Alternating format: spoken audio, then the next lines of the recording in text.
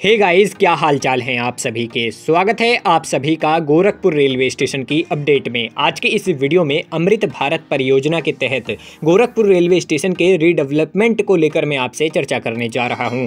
Gorakhpur railway station आने वाले दिनों में वर्ल्ड क्लास बनने जा रहा है।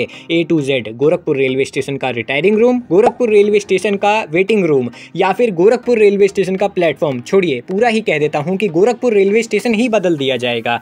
कितनी सारी चीज़ें आने वाले दिनों में आपको देखने को मिलेंगी ना, वो इस वीडियो में मैं आपको बताने जा रहा हूँ। लेकिन वीडियो को शुरू करने से पहले अगर आप चैनल पर नए आए हैं और भारतीय रेलवे से जुड़े कंटेंट आगे भी देखना चाहते हैं तो चैनल को ज़रूर से सब्सक्राइब कर लीजिएगा। अगर आपने अभी तक इस वीडियो को लाइक नहीं किया है तो वीडियो को लाइक कर दीजिए और अपने दोस्तों में इस वीडियो को शेयर कर दीजिए। ये वीडियो इंपॉर्टेंट है, एंड तक बने रहिएगा। चलिए शुरू करते हैं आज की अपनी इस अपडेट को।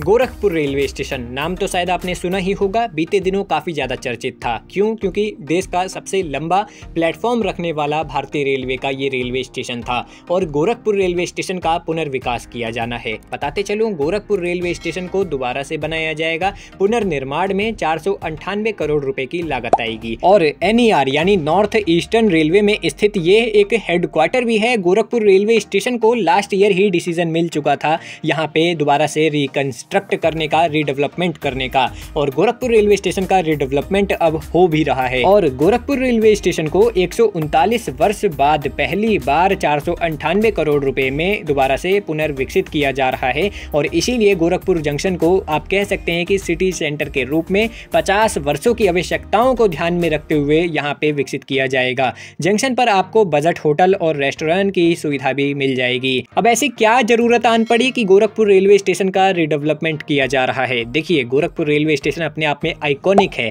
और यहाँ पर मौजूद foot over bridge roof plaza बल्कि प्लेटफॉर्म पर भी, जो कि सबसे लंबा प्लेटफॉर्म है, उसके ऊपर भी यात्रियों को पैदल चलना पड़ता था। महिला, बुज़ुर्ग, विशेषकर बच्चों को और दिव्यांग जनों को एक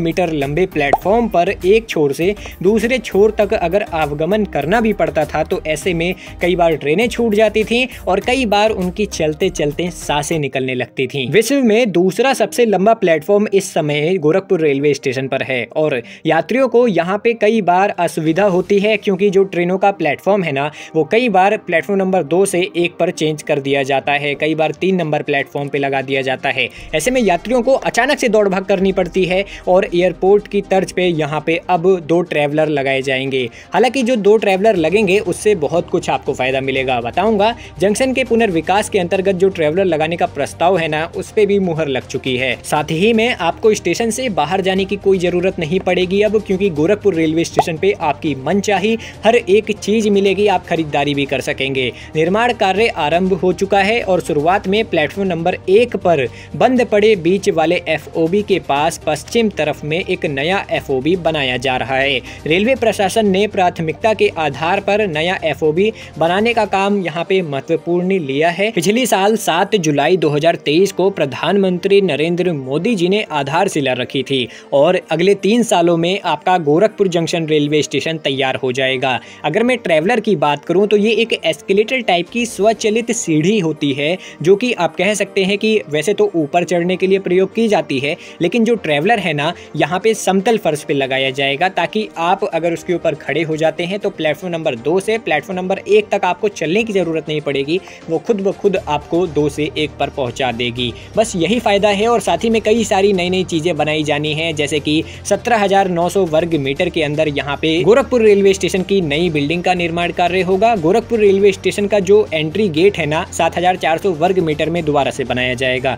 10,800 वर्ग के अंदर आपको रूफ प्लाजा भी देखने को मिलेगा। 300 वर्ग मीटर में आपको गोरखपुर रेलवे स्टेशन पर टिकट काउंटर्स जो है वो दोबारा बनते हुए नज़र आएँगे। और 6,300 वर्ग मीटर में आपको गोरखपुर रेलवे स्टेशन पर नए वेटिंग एरिया और वेटिंग रूम देखने को मिलेंगे। लगभग साढ़े तीन हज़ार व्यक्ति एक साथ बैठकर प्रतीक्षा कर सकेंगे। एक लाख अस्सी हज़ार से ज़्यादा यात्री रोज़ाना सफ़र भी कर सकेंगे।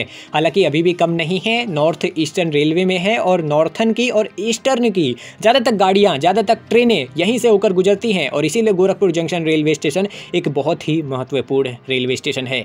और आने वाले दिनों में मैं आपको Gorakhpur, Domingarh, third rail line की प्रोग्रेस भी दिखाऊँगा और साथ ही साथ में बताते चलूँ। आप लोगों को कमेंट करके बताना है कि आपकी गोरखपुर रेलवे स्टेशन से चलने वाली या गुजरने वाली सबसे इंपॉर्टेंट ट्रेन और सबसे फेवरेट ट्रेन कौन सी है? मैं भी देखूँ कि लोगों को कौन कौन सी ट्रेनें पसंद आती हैं गोरखपुर से। बाकी आज की इस वीडियो में मैं इतना ही रखता हूँ। ये वीडियो अगर आपको पसंद आई हो तो इस वीडियो को लाइक कर दीजिए। चैनल को सब्सक्राइब कर लीजिए ताकि आने वाली अपडेट्स आप देख सकें और अपने दोस्तों में इस वीडियो को शेयर कर दीजिएगा। उम्मीद करता हूँ वीडियो आप लोगों को पसंद आई होगी और मैं मिलता हूँ आपसे बहुत जल्द किसी और नई अपडेट के साथ। आज की वीडियो में इतना ही रखता हूँ। जब तक के लिए रखिएगा आप लोग अपना ख्याल। Hope to see you again bye bye guys